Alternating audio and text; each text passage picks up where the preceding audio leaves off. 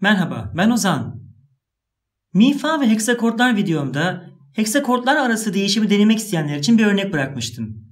Şimdi gelin bunu nasıl solmize ettiğimizi görelim. Ut, re, fa, mi, fa, sol. Sol burada uta dönüşüyor yani mutasyon. Ut, re, fa, mi, re, ut. Şimdi ut tekrar sola dönüşüyor. Sol, mi, ut, fa, mi, re, ut. İşte bu kadar.